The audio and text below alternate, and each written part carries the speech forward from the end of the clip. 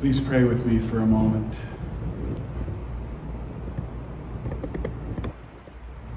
God, send your Holy Spirit to us that we may be able to listen to what you are saying and hear the peace you are speaking to Hmm. us. Hmm. We pray this in Christ's name. Amen. Amen.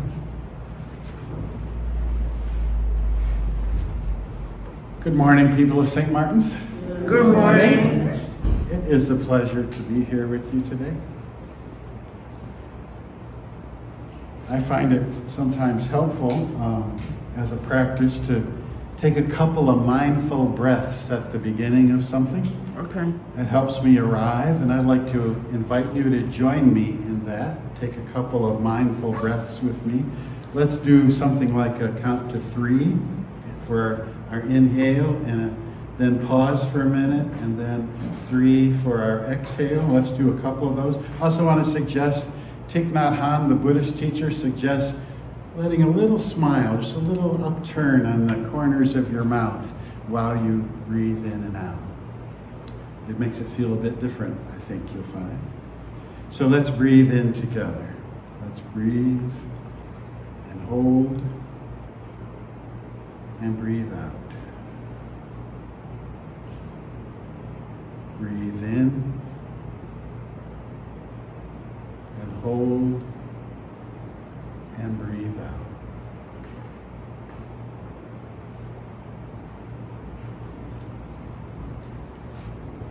Thank you.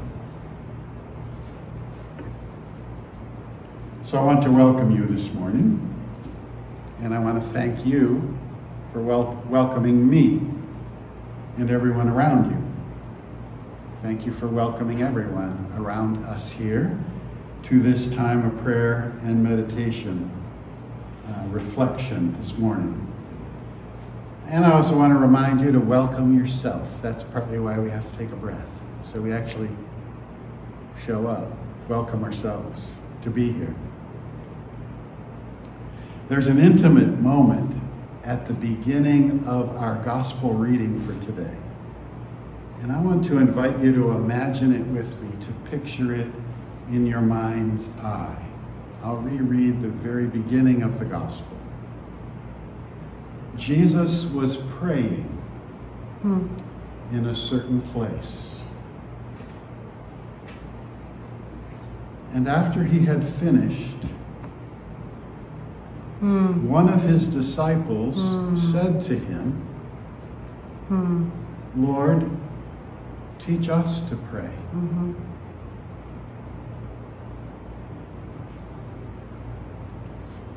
Jesus is praying. I pictured him outside, a short distance away from, from the, the disciple in the story. Maybe the other disciples were also there. I imagine Jesus is quiet and still. Maybe he's sitting on a rock or a tree stump or a bench. And he has done this thing we call prayer. He, he turns his attention to the realities of his life before God, somehow with God, in the presence of God. He gathers himself, he's focused, a kind of awareness, in a kind of awareness. He centers within his heart, and within this awareness, in a kind of openness, an inner attentiveness, which is a kind of rest. It's a beautiful thing for me to, to observe Jesus in prayer, to imagine Jesus Hmm. in prayer. Um, sometimes I get these in the mail, these brochures about expensive trips, you know, around the world, Viking cruises and so forth.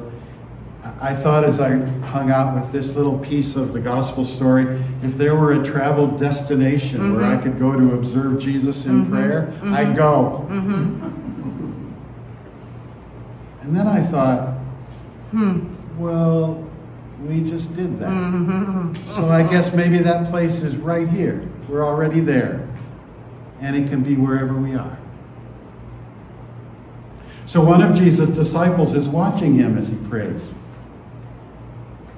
I like that moment to think about that. It's a bit of a distance away.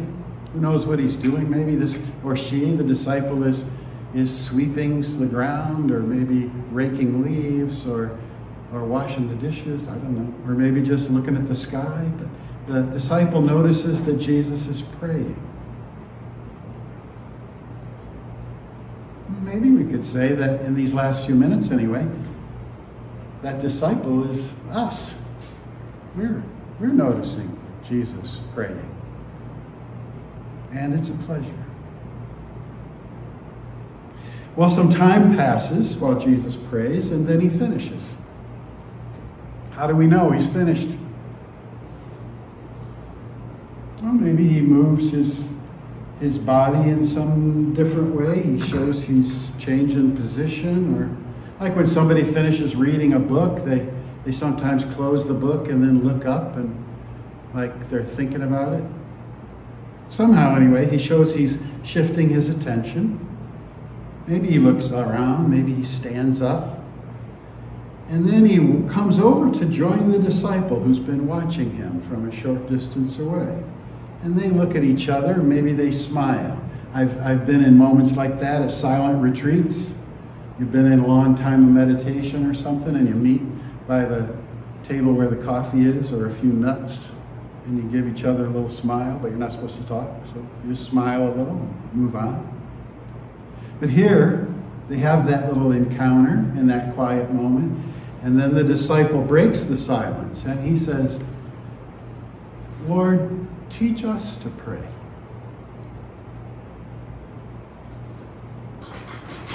We'd like to learn to pray.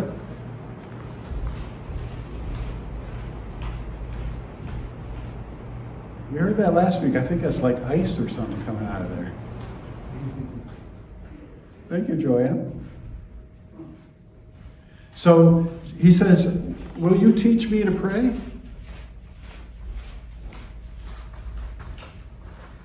That seems like such a vulnerable and delicate request to me. He's revealing his heart. This, and this moment, this request sums up for me something really deep and important about the heart of life. The heart of who we are and where we are and what we long for. So, first, observing Jesus in prayer might awaken in us a longing to pray, like it did for this disciple. Or it helped the disciple name the longing. It might awaken in us a, a longing to gather ourselves and to be aware of our life, our world, our time. And in that awareness, to somehow be present before God and with God.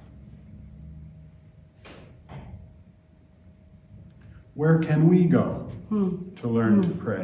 Hmm. Who can we ask to help us learn to pray?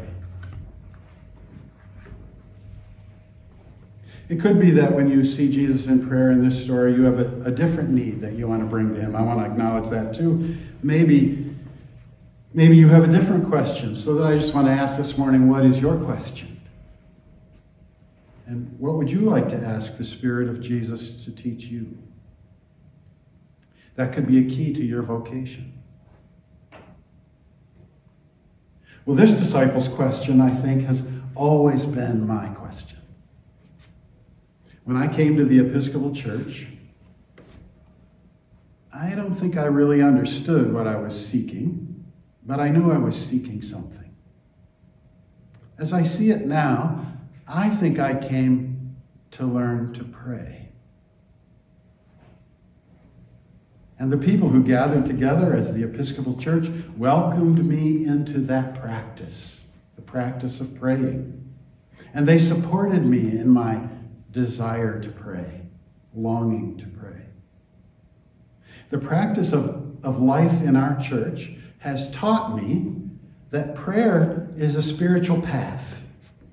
It's a way of living, a way of expressing our trust in God, or, as is sometimes the case for me, a way of expressing the little shred of desire I have to trust in God and love God.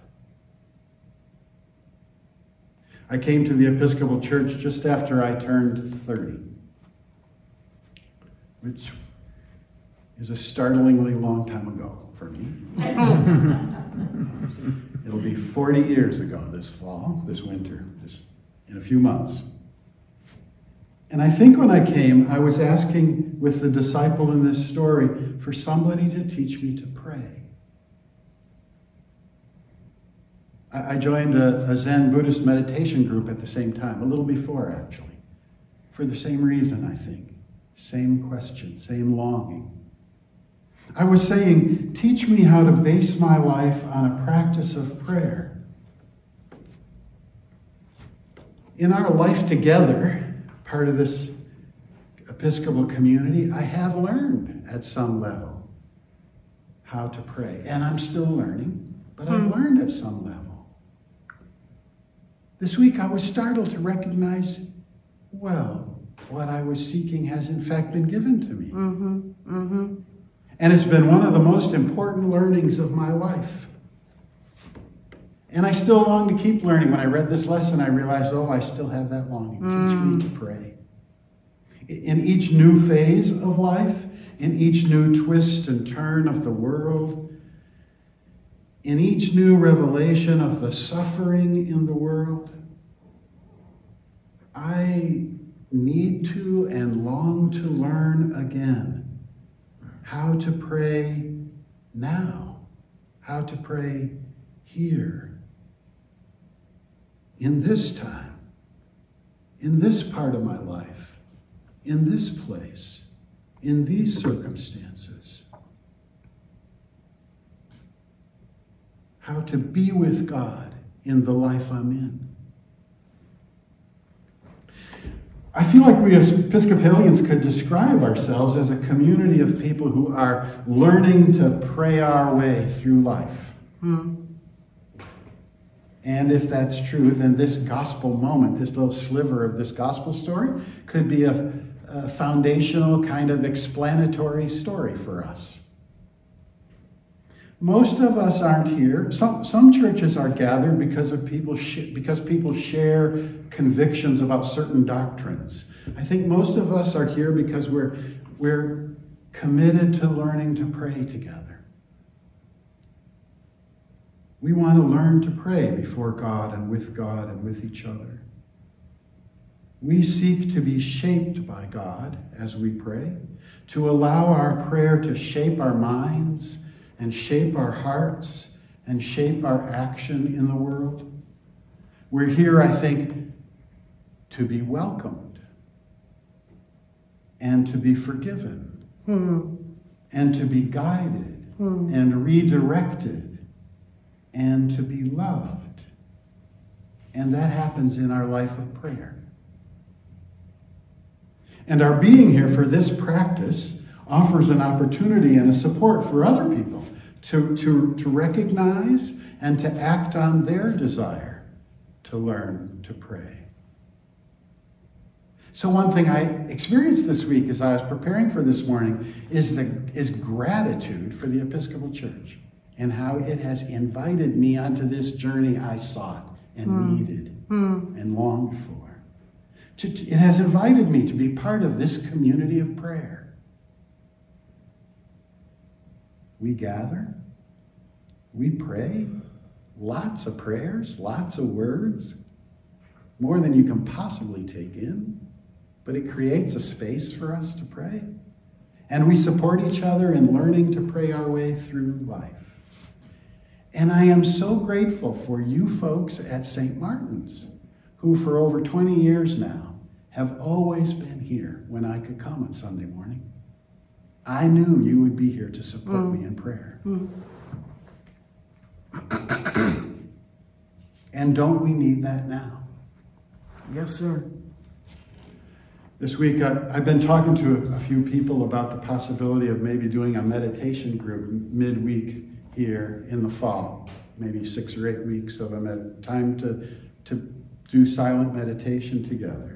Maybe learn a little bit about that.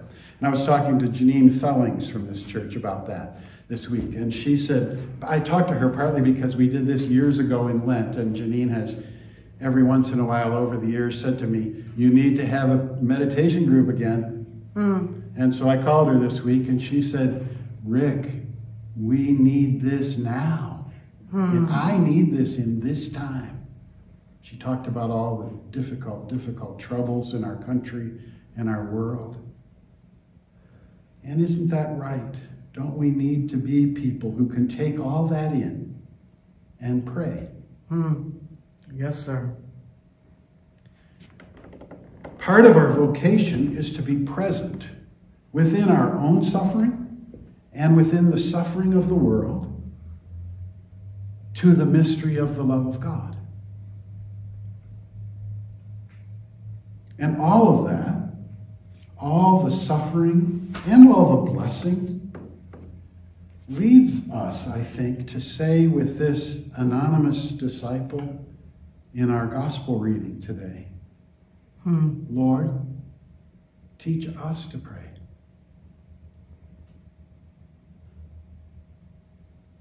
I feel so grateful to be able to share that with you and to share this life with you. Thank you. Amen.